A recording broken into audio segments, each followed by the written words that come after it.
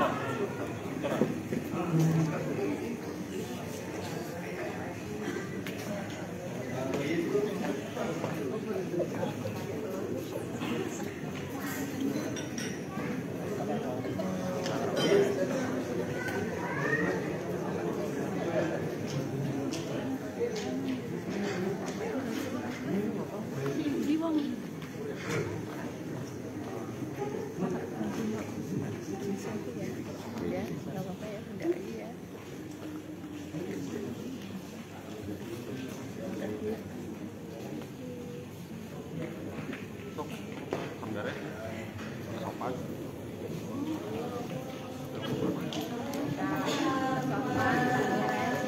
Sallallahu alaihi wasallam. Sallallahu ala Muhammad. Sallallahu alaihi wasallam. Kembali duduk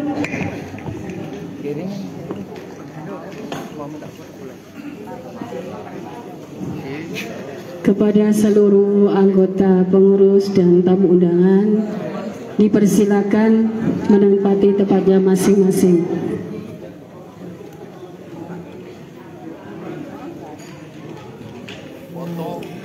Sambutan dan pengarahan sekaligus doa yang akan disampaikan oleh Bapak Kiai Haji Roma Irama.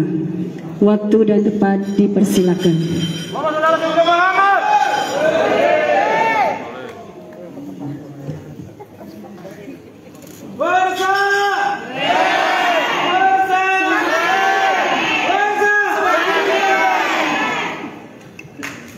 السلام عليكم ورحمة الله وبركاته.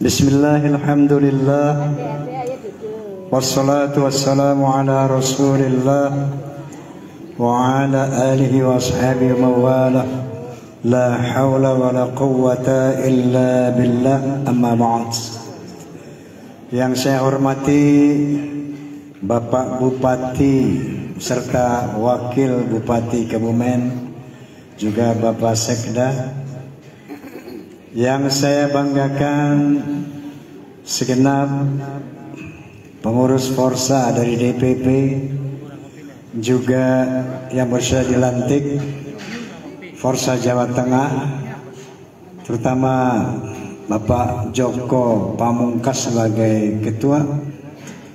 Hadirin hadirat rahimakumullah. Alhamdulillah bahwa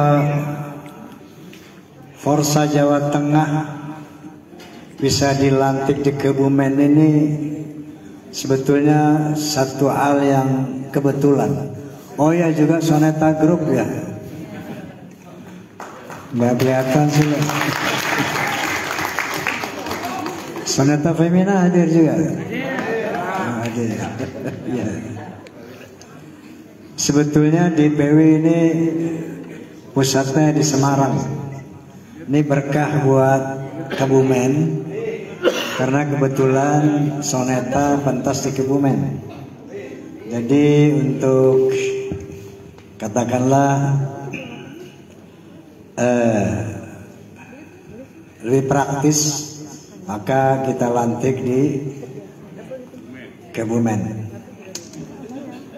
Bahwa yang perlu saya sampaikan dalam kesempatan ini adalah ketika Forsa Munas yang pertama saya tidak masuk dalam struktur.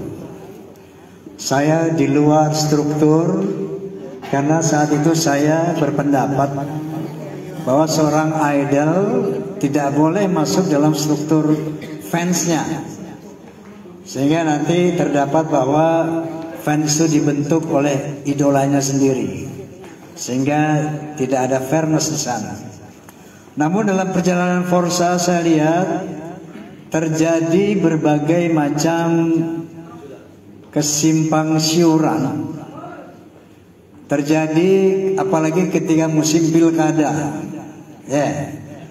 Ada yang ke kiri, ada yang ke kanan, ada yang ke atas, ke bawah dan sebagainya. Tidak terorganisir, tidak terarah. Bahkan saya melihat lagi ada yang menggunakan forsa untuk kepentingan-kepentingan pribadi. Kepentingan-kepentingan sesaat ya. Oleh karena itu, kalau ini terjadi tentu merugikan saya sebagai Roma Irama. Karena organisasi ini adalah fans of Roma Irama dan Soneta. Jadi saya tidak bisa membiarkan uh, atas nama Roma melakukan kepentingan yang di luar Roma. Seperti itu. Akhirnya saya putuskan saya masuk ke dalam struktur sebagai ketua dewan pertimbangan di mana di sana ada syarat beriman bertakwa berakhlak dan berloyalitas inilah yang dimuat dalam ADART eh, Forsa. Kenapa demikian? Apabila anda telah menyatakan diri saya fans of Roma. Apabila Anda telah menyatakan diri saya fans of Soneta, kemudian dalam ADART kalian saya melihat bahwa tujuan fans of Roma and Soneta adalah pertama menjaga karya cipta Roma Irama. Yang kedua mengamalkan sebisa-bisanya lirik-lirik Roma Irama. Yang ketiga, menegakkan amar ma'ruf wa nahi sesuai dengan lirik-lirik Roma Irama. Oleh karena itu tentunya langkah Forsa tidak bisa berbeda dengan langkah Roma Irama. Gana bengki? Nah ini saya rasa yang harus difahami. Ya. Maka di sana ada teks, ada apa? Berloyalitas ke depan bahwa selama Roma Irama dan Soneta fisabilillah fisabilillah di jalan yang lurus saya rasa taatilah Roma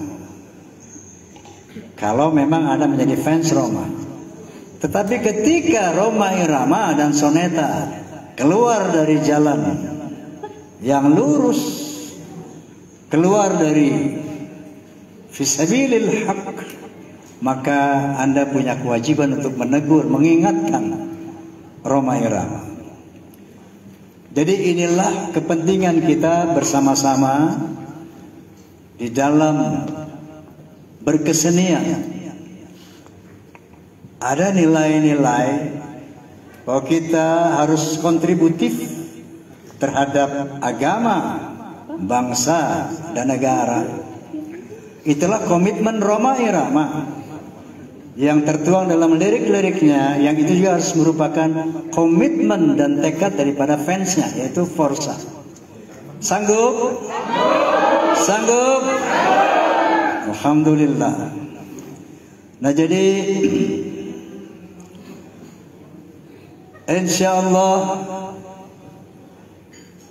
apa pun yang dilakukan Roma Irama tidak lebih daripada hidayah, taufik dan inayah daripada Allah Subhanahu wa taala. Karena doa saya selama ini saya mohon kepada Allah Subhanahu wa taala agar musik ini bukan menjadikan jalan memperlebar jalan ke neraka tapi saya mohon kepada Allah Subhanahu wa taala agar dengan musik ini bisa mendapat ridhonya, bisa mendapat hidayahnya, agar musik ini bisa bermanfaat. Bukan hanya untuk menghibur saja, tapi bisa bermanfaat untuk membangun agama, bangsa dan negara.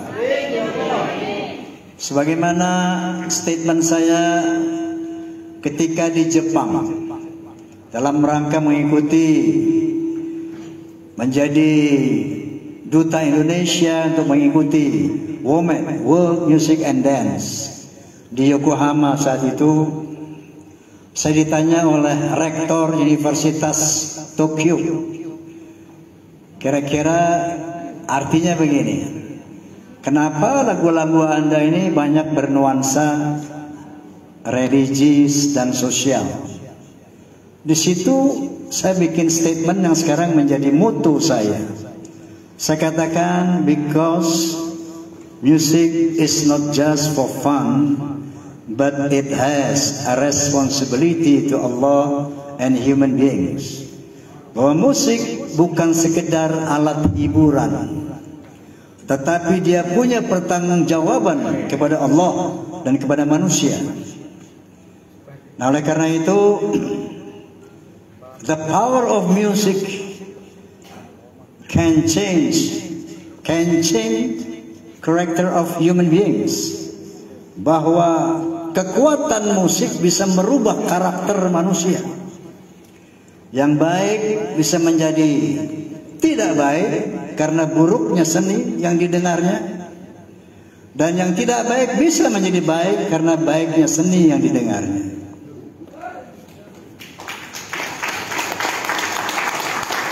Bahkan banyak testimoni tentang hal ini. Bang Haji, saya dulu peminum, saya dulu penjudi. Begitu dengar lagu Bang Haji, Alhamdulillah Bang Haji saya nggak pernah mabuk lagi. Saya dulu kurang ajar sama orang tua. Begitu mendengar lagu keramat, saya nggak berani lagi melawan ibu saya. Banyak testimoni-testimoni. Bahkan ada seorang dosen bahasa Inggris dari Universitas Erlangga Surabaya.